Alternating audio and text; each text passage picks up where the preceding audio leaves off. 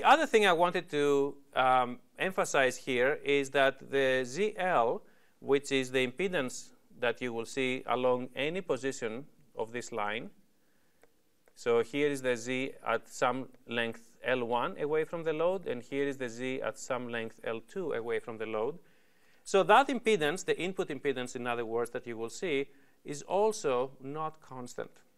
Um, the input impedance, it will always be defined by the voltage at any location over the current at any location, so V by I.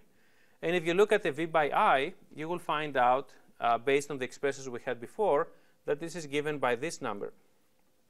Now, uh, this gamma L, which we found before, which as a reminder is ZL minus Z naught over ZL plus Z naught. So this gamma L multiplied by this exponential e to the negative j 2 beta L a lot of times will be called the reflection coefficient at the line, at any single location of the line, uh, gamma as a function of L. So this is what you will basically see on this equation right here. And similarly, I have exactly the same thing in my denominator. Now, if you simplify this expression with the exponential, you will actually get a really famous expression, which is shown right here, that actually gives you the impedance on this transmission line um, as a function of length.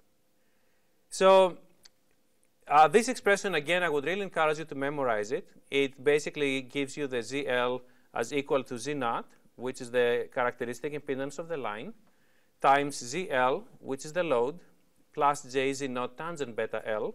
So this tangent beta L basically brings together the phase constant beta as well as the length of the line. And then there is a similar term in the denominator. So to summarize these results here, um, it is really important to remember that the voltage magnitude is not constant along a line. It will periodically change between a minimum value and a maximum value. And that minimum and maximum value will be a direct um, consequence of how much reflected energy we have. And the second main result here is that the transmission line impedance um, is not constant um, at L is equal to 0 clearly will equal ZL, meaning the impedance of the load.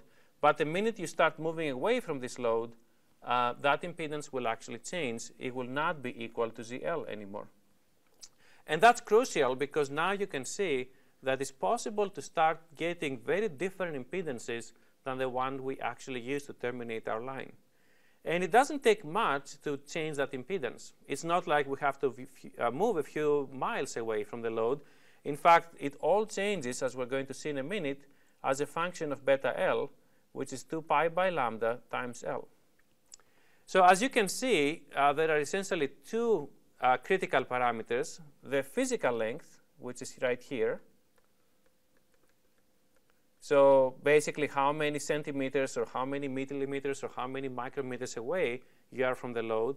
But it also depends on lambda, which is the wavelength. So the key is not how many centimeters or millimeters away you are from the load, but how many degrees you're away from the load. And this beta L is actually called the electrical length. So when you're changing the impedance of a transmission line, when you're moving away from the load, it doesn't matter the physical, it's not important how physically far away you are from the load, but actually how many degrees, what is the electrical length that you're moving away from the load to get that impedance. And as we will see, uh, that can actually change dramatically. In fact, in the next few examples I will do, you will see we can go from a short to an open very, very quickly.